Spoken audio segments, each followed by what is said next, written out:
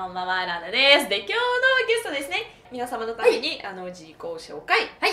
お願いします。ありがとうございます。ミーが鳥イントラブルチャンネルの鳥と申します。フィンランド出身で東京4年半も住んでます。これもちょっと話、まあ、前回と被るかもしれないけど、あ何？日本に来たきっかけっ多分ね私ララちゃんそれ話してないあ、そう気がするすると思うんだけど日本に行きたいきっかけがあの私日本語が好きだったんだよね最初が、うーん。あのいろんなこうなんだアニメとか子供の時に見てたんだけど、本当に初めて日本語で見たアニメ。もうその響き、うん。その本当にあー綺麗だなって思う。そう。すごいもう本当に惚れちゃったんだから、うん。もうその時からもう自分で日本語をちょいちょいちょいちょい勉強したんだけどそのだけど中学生だったし14歳だし。あ、じゃあ14歳からもう日本、日本語。日本に憧れてじゃなくて日本語に日本語にとりあえず憧れて、とりあえずから。そうそうそうなるほどなるほど。そう日本語に憧れててでもそう日本語憧れるっていうことは日本語を聞くためにまあいろいろまああるじゃん。えっと。例えば。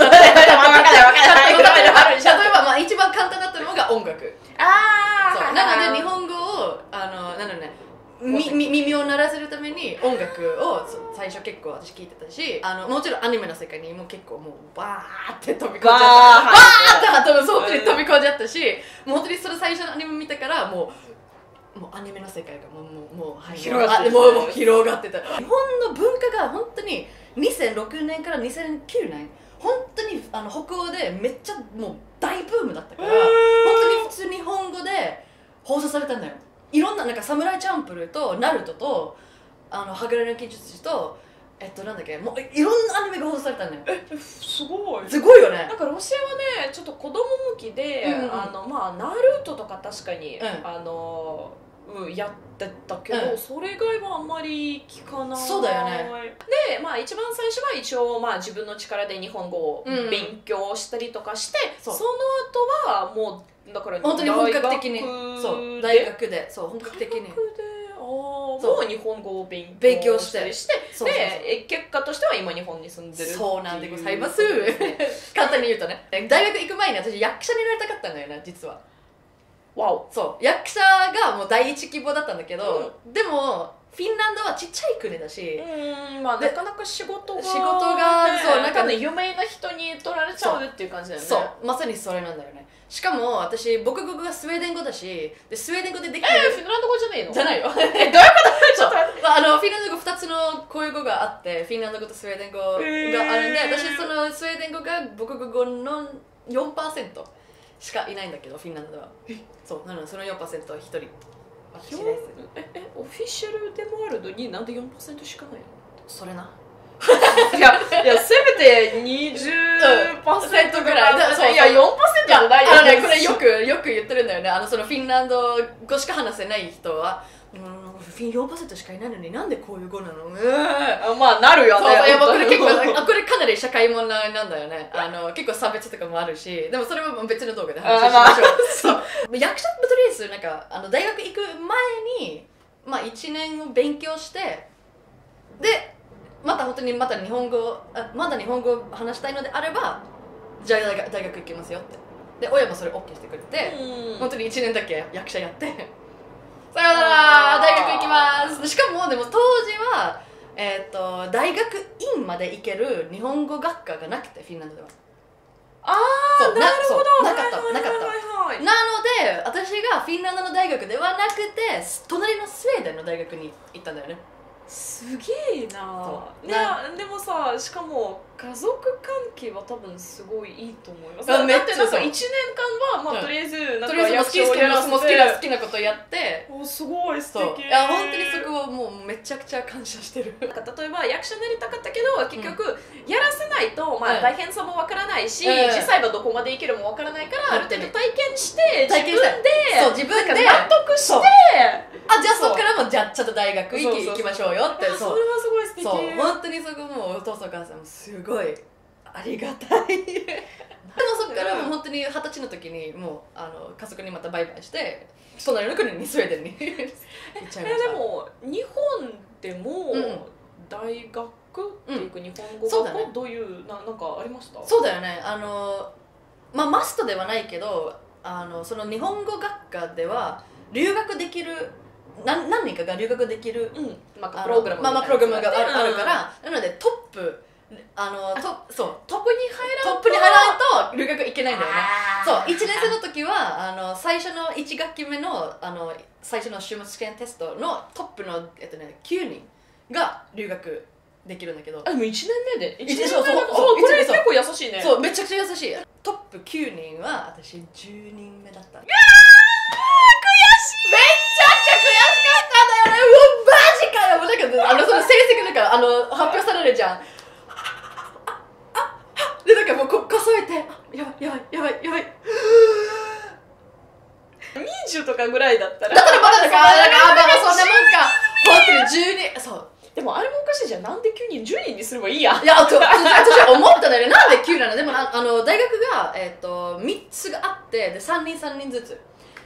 だったんだから、本当に、もう、なので、私自分で大学を、なんか、留学を、留学生を受け取ってくる大学をせあの検索して、自分で、あ自分で自分で応募したんだけど留学みたいな。そうそうそう。ね。そう。でもあその9人はあの、まあ、交換留学だったからタダで行けたんだけど私自分で払って、まあでもそれにしてもそう。もうそれそれでもねぐらいっていう生き方って感じだよね。そう。でも本当に私思ったんだよね。あの今、まあ、ある程度話してるからもう行かないともうなんか自分のなんだろうね状況わかんないからもう本当にもううん、行くしかない。い やもう。それ そそこまた親と相談していやあの本当にお金うんなんかまあ申し訳ないんだけどあの本当に行きたいのでお願いしますわあそう。まあなので今日のうん。テーマとしては、このそれぞれの国のはい。学生生活の違いと、あとまあ日本でまあなんか学生の生活の中で何が良かったとかさいいんじゃない？って感じでいくのかなと思います、いいいいと思ういいと思う。あの最初大学行った時にあの神戸の大学だったんだけどこなんで神戸？あのその時は本当に留学受け取あってくれる大そう大学え東京なかったの？なかったんだよね。えおかしいあい？やでもね意外とねあの応募のあの期間がもう過ぎちゃったんだからまだはい応はいはいはい。募まだまだまだその応募を受け取ってくる大学は本当にそこしかなくて。なのでまあ本当にもうどこでもいいからもう、まあ、とりあえずとりあ日えず本っていう。とりあえず行きたいです。でもうすごい逆に良かった神戸ですごい良かった。いや神戸私1回しか行ったことないから、あんまりイメージがつかなくて、でもなんおしかゃれな街だよ。本当なんか牛肉が美味しい神戸牛が。美味し。いそう。めっちゃそれねうまい。あのもう私もうここんぐらいのピースしか食べたことないんだけどでも高いからね。でも私その時は食べれなかった。ただ美味しいって聞いた時あのねもう溶けるって感じ。です本当にすごいすごいうまい。でもその時はちっちゃい大学だったのね、あの本当に多分200人しかいないと思うんだけどそう神戸外大っていう大大学なんだけどあのキャンパスがもう本当にもうちっちゃくてで留学生がその時6人ぐらいしかいなくて。どこの国かなあの人が。えっとねその時がドイツと,、えっとスペインとアメリカと私4人や。そう。でプラあスペイン人が2人。あなるほど そうそうそうそう。そう。なのでそこはなんか逆にすごい良かったな。なんかそのちっちゃいコミュニティになったし本当にもうすぐ仲良くなったし。で外大だからもう本当に外国語大学。なのであのなんだろうね言語を勉強してる生徒たちしかいないし。ああそうなのですっごいなんかもう何でもなんかみんなが仲良くはいできるだけ仲ちゃくちゃ良くなりそうそうたくてめちゃくちゃそれあった。なのでもうちょっとまあまあなんだろうね。あのなんか有名人になったんだよね。みんなそうなんかあそこのなんだあのがなんだ留学生グループそこにあるから。だからなのでどっちかっていうと正しい大学の生活ではなかったと思うんだよね。正しい正しい。正しい大学はなんだ。正しくない大学に通っていやるいやでもだだからもうイメージとしては本当になんか今今振り返ってみると確かにもうすごいなんかみんながう私たちを下からもすごいほうほう褒めててくれたしもう何でも何でもそのタイナ先生がもう本当にすっごい何でもしてくれたから、うん、結構なんだろうね幼稚園。幼稚園な感じだったのでもうみんなが本当に優しくてもう私たちももうあ「大丈夫ですか？あなんか一緒に銀行行きますか?」って。本当に何でもしてくれた。勝ちたいけどしてもめちゃくちゃ良かったでも2回目留学行った時にええちょっと待って、うん。えっ、と、うん。そうしたらえっ、と一まあ2年目でそう。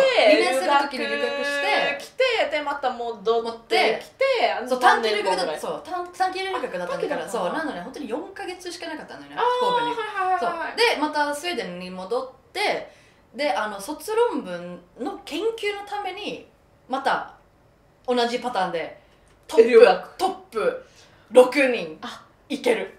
六？もう。六？減った。そう減った。あなぜかというとあのクラスの人数も減るから。ああそっか。そう。どっちかというと。なのでなんだななもうな7位7位今回は5位。イエーイ！そう。なのでやったぜー！いけるってなって。でその時はあの選択もその時実は2つあったんだけどそう東北大学か東海大学、うん。あのかん神奈川？横浜の近くにあるうん。大学なんだけど、でこれを考えて私あの私の研究を考えると神奈川行った方がいいかもしれないけど大学的にもう東北の方が全然上だから。あ本当？そう。そう。な、まあまあ、東北もトップ大学なのあでなるほどね。なので、まあ、そっちに行った方がいいなまあだよね。トップ大学絶対行ったもう。それそれだけもう履歴書に入れるんだったらもう結構おすごいなってなうん。ると思ってへーあじゃあ東北にします。でも卒論ん。あれはなんあなんだった卒論が原宿ファッションに私書きたかったので 東北行ってどうすんだよ。そうだから研究ちゃんとしたかいそうって何のためになので私結構毎月東京にあ夜行バスで行ったんだよ。そう原宿でブラブラしてあのいろんな人とあのインタビューして自分の論文を書いた。逆にそしたら本当にやっとなんか日本の大学生活はできたなってその思ったので、そうやっぱりサークルに入ってそうサークルに入ってもう周りも日本人しかいなくてあの飲み会行ったりそのなんだろう本当にまあ普通日本人があのなんだろうねやってる生活してる感じだったんだよね。そう。なのでそこがすっごい良かった。じゃあそれはあのスウェーデンのうん。学生生活と比べれば、と比べどういうポイントが良かったとかまあ面白かったとか。そう。だよね。逆に学校本当にもう授業の中で言うとこれ結構私びっくりしたんだよね。あのフィンランドとかあのスウェーデンの大学では全然授業中に話してもいいしは？むしろしそう先生が聞いてくれるんだよね。これについてどう思いますか？ああそうそうそうなんそういうのそう友達とし それはもちろんダメだけどなんか逆にディスカッションをしたいんだよね。あのスウェーデンの先生たちが。ああそれはわかる。うん。うんねまあ、これなんだろうねヨーロッパの、まあ、スタンダードなんだけど日本の大学に来た時にあんまりなんか喋らない。あがあのまあ授業授業中にレクチャーっていうそうレクチャーそうそうそうそうそうみんながもう座って聞いて、まあ、ノート取ったりするのが基本なんだけど、私から見てこれすごい違和感だったよねあとやっぱり多分めちゃくちゃ喋る人間だからとりあえずダメっつって言われてもあの、やだっつって。あの、まさに、それでございます。バレた。本当に、心理学の曲あのの時に、あの、めちゃくちゃもう面白い話があって、うん。その本当にマイノリティ、国のマイノリティについての話あったんだけど、待って、私じゃん。だってもうフィンランド人だけど、スウェーデン語うん。が母国語で、うん。4%しかいない、うんうんもうフィンランドの国の中にもう超マイノリティじゃん、うん。うんでそのなんかマイノリティの扱いはこういうなんだよってなんかその先生が話してて、うん。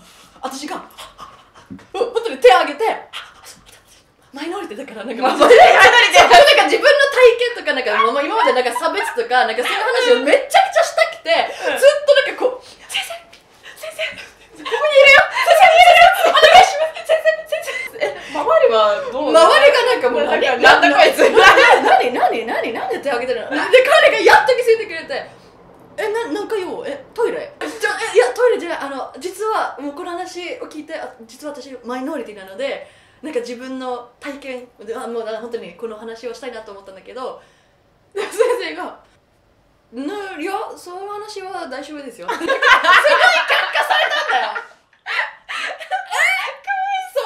私も本当にえ私もマイノリティなので本当に今まで結構なんか辛い思いはいろいろまだあるからなんかこの中に多分そういう体験はないと思うんで本当にそのなんだろうねその体験ある人から話した方がいいかなと思って。まあだよね。あれは絶対になんだろう、まあうんみんなのためにそうそうそうみんなそうあとわ本当にそう。なんか分かりやすい。やっぱりなんそう。か言われる、まあ、レクチャーだけでそうそうなんか自分に全く関係ないことだと思って、うんただメモとでも本当に。実はなんかクラスの中でそういう人がいたって聞くと全然なんか違違うんだよね。なんか覚えやすいし。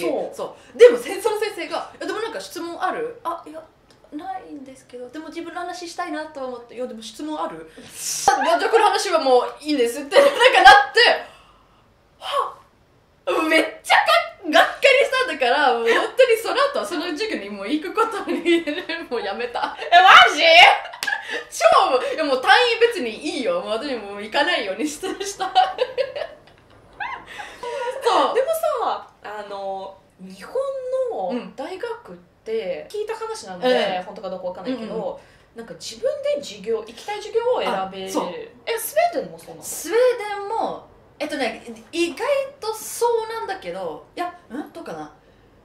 いやうんあるんだけどなんかマストな授業は一応ある、うんなんか自分にこれ何パーセントぐらいなの？えっとね80と八かあそう80そうおーぐらい。80ぐらいがもうあのマスト。そうマスト。プラス何かそう好好きなものをあのいろいろあったんだけど、まあ、漫画とかあの日本のファッションとか確かにあったし。ええ授業？ファッションそうそうそうああったあったあった。あの、まあ、歴史的な問題だよね。歴あまあまあまあまあまあ。れれまあまあ歴史のファッション全体全体の、まあ、日本のファッションがこうなんですよ、こういうふうにそうそうそうそうあとあとあとお茶カルチャーとかもあったし、うんそう歴史とかももういろいろあったんだから。なのでそこは本当に自分で選べるんだけどどっちかっていうとあの別で日本の大学だと本当に関係ない。関係ないんだよね、そう、まあ、私が、まあ、留学生だったんだから本当に好きなあの好きな授業を何でもいいよ。とりあえず単単位さえ取れれば何でも OK 逆にめっちゃ迷うよ。うわーそうそうそうそう全部知りたいしなんかでもその時、まあ、日本語は、まあ、ある程度は話せたんだけどめちゃくちゃ難しい授業だとまあまあちょっと対応としちゃう可能性があるからうんとりあえずなんかもう簡単なやつにしといた。うちはさロシアだと、うん。私が入ってた時うに、ん全然もうあの自由に選べる授業が全くなくて、もう決まってる授業にしか行けないから、だからこれは全く興味がない授業もめちゃくちゃあって、あるあるある。もうスウェーデンもそれあるんだよね。本当にプログラムに入るときはもう本当にき基本全部決まってある。そうプラス何か取りたいのであれば全然 OK だけどそう自分の勉強しているものだけじゃなくて別のなんかそうそうこれはすいごいなんかねいいよね。なんか例えばさ嫌いな授業があったとしても、うん。好きな授業もあるからとりあえず大学行きたいっていう気持ちになる。なんか勉強しやすい。まあ、なんだろうあのモチベーションがある。そうあるあるある。あの結構日本語教育のあの授業をメインに取ったんだねその時は、うん、めちゃくちゃ良かった。あの結構優秀ななんだろうね元気っていう教科書があるんだけどで私元気を使って日本語勉強したんだけど元気を半分書いた先生がその時遠くにいたんだから「おおすげえすごい人ややばいめっちゃこれすごいじゃん！Oh my god もうなんかもうキラキラアイドルみたいな感じだったの、えーうちはみんなの日本語だった、あでもみんなの方がもういいいいと思うよ。あれ結構スタンダード。でこれはうん。何年間、これが、えっとね、一1年年1年。そう。一年間。一年ずっとうん。日本語のあその東北大学にいました。でそこからまたまた帰ってスウェーデンに帰ってうん卒あえっとそうだね卒論文を書いて卒業できました。イエーイ！でも私ももう本当に最初からのゴールが、まあ、もちろん大学院を卒業だったんだから、うん。なので、まあ、またまた。まあ、卒業した後に、はい、またはい、じゃあ、はいはい、じゃあ、大学院、はい、お願いします。はい、あ、今年もよろしくお願いします。でも、その時は大学院、日本語学科の大学院生が、そのまでは、実は一人しかいなかった。へえそう。なので、私ともう4人ぐらいだったの。あ、5人か。5人が、やっぱ大学行きたいから、特別に私の大学が作ってくれたの？作ってくれた。えそう。めっちゃ優にそう。しい日本語学科大学院のプログラムを作ってくれた。でまた2年そう大学2年生の時にまた東北大学に。あまたまた。そもうあやっぱりすごい良かったからまたそこに戻っていたんだ。そう。えそう。なのでーまた今回何の研究？けん今回は、あのよさこいについて研究しに来たんだよね。そうあのリスクソサイエティとあの障害学習があの私のテーマだったんだけどあのよさこいはリスクソサイエティにどうつなぐか障害学習になれるかって私そういう研究をしたかっためっちゃ難しかったよ。でもこれ私思ったんだよね。あの日本の大学院の時にうんなんかみんなめっちゃ適当に書いてるな。なんかあ本当？そう。なんだろうね。うちのスタンダードの長さが100ページ。うん。あのなんだろうね。そこの大学院は全然なんか40ページでいいよって。え嘘でしょ？は？ありえないか100ページ100ページがももう、まあ多くはない気がする。でしょ？うん。なのでそそそこミニマムなのね100ページ。もうもっとあった方がいいよって、そうだから40ページの修士論文って何？と思ったんだよねその時。そこ結構差感じたでさこれはまああの日本の、まあ、大学だけではなく、うん。日本社会も、あのあるあるなんだけどあるあの何海外ってあまり先輩と後輩っていう文化がないんだないよそうないよどうだった？なんかやっぱりさなんか、留学だったかな？ん。うんか短期まあなんかなんかあ4ヶ月とか1年とかとかそういう感じになると結構なんかね差が激しいっていうか使い方が分かんないっていうか。これね結構私最初、結構これこのルールを破っちゃったんだよね。あ。の私もそのサークルに入って、うん。私がもうどっちかっていうとあの陰性と同じ年齢だったんだよね。どっちかっていうとね。そうあの1年も遅れたし大学行くのが、ほどねしかもあの3年生だったしあの東北大学にいた時に3年生だったしで年齢も1個上だったしな本当に日本の陰性と同じ世代だったんだけど、1年生として入ってたんだけどそのサークルに。うわこれはむずいな。だってもう周りの同級生がみんな19だす1918歳の子しかいなくて私23歳。うわこれはうわやばい。みんな子供やんって実はちょっと思ったんだよね。そうなのでどっちかっていうと私もう陰性と、まあ、仲良くはしてたんだよね。ああなるほどね。そう本当にそこが難しかった。そう。なので最初私結構、うんいやでも年上も全然年上だしなんなんでなんか2年生もう二十歳なのになんで私先輩言わなきゃいけないしなんでこのなんだねあの敬語使わなきゃいけないのって結構私ねそこ、うん、しないよって。ああ最初はあったんだけど、うん。もうどんどん時間が経つ経てば経つほど、あ先輩あお疲れ様です。もっともう後輩に超戻った。そうもうなんかその時の代表が2年生だったんだけどあもう私のもう3個下なのに「あ代表おはようございます。よろしくお願いします! 」で逆に今、あの後で入ってきた子たちあの私の職職場とかに、うん。なんかなんか呼び捨てって言われたらいやちょっと。ちょっとってなるんだけどなんか気にしなかったの。むしろ呼び捨て全然いいんだけどなんかねあなんかちょっとちょっと一応先輩だからちょっと呼び捨てはあ ちゃんとかでも全然いいんだけどいいんだけどとりあえず教科取りなさいっていう話ね。本当にとりあえず、あの呼び捨てだけはダメだよ。だからもうやっぱりねこのマインドがそこねもう日本人化してるんだろうなって思う。どう？そこあある？呼び捨てはねあの、うんロシアだったらさもう普通にまあ呼び捨てってもうそうそうあの全然当たり前当たり前。というか当たり前。まああの上の人なんかボ仕事のボスとかそれだったらちょっとあのまあ言葉遣いをちょっと丁寧にするかな。ちょそうそうそうそう、別にそんなにすごい激しい違いはないんだけど、うん。うんでもなんかだからでもボスもなんか普通呼び捨てするよね。あまあまああのだから職場による、うんでも日本はさ最近最初は本当になんかとかまあラナさんとかって言われると、うんうん。ちょっと違和感感じたんだけど。逆にね私あったあったあった。いやなんでなんで鳥さんっていやえ？いや別に呼び捨てでいいよって。そうそうそう。だったけどやっぱなんか日本の生活はうん。だんだん長くになると、いきなりなんか知らない人とかなんかうん。よくわからない人にうん。取り捨てされるとつって。え？は？っつって。わかるだからもうあのだから普通に例えば、まあ、友達の友達の飲み会とかみたいな、まあ、感じのところに行くといきなり会ったことない人にうんおらら。あだからみたいな。え誰やお誰前は？って。誰だよ？そうそうそうそう。わかるこれ超わかるんだでそこからまあ向こうはさ別に悪気がないないない絶対ないと思う。逆に、まあ、外国人だから呼び捨ての方ががやりやすい。嬉しい。なんかそう仲良くなりやすいっていうそう。でもここは逆にまあ日本の日本の世界からよいよいよいよいよそういうふうに言われるとすごいなんかこいつとちょっとあんんまり喋りたくないななんかっていう気なんかあじゃあ持ちになる。えなんかすごいなんだろうラフだなって思っちゃうよね。そうそうそうそうそうこれ超一緒だよね。うん。楽しかった。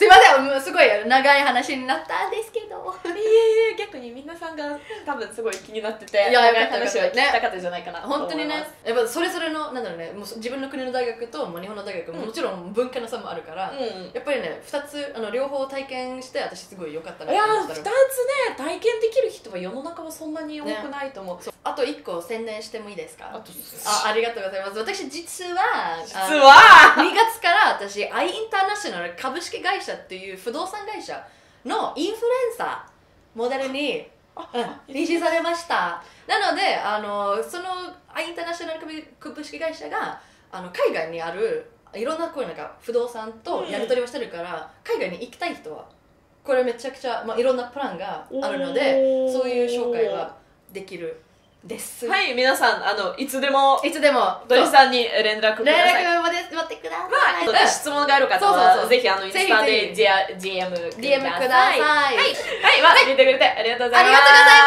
ありがとうございます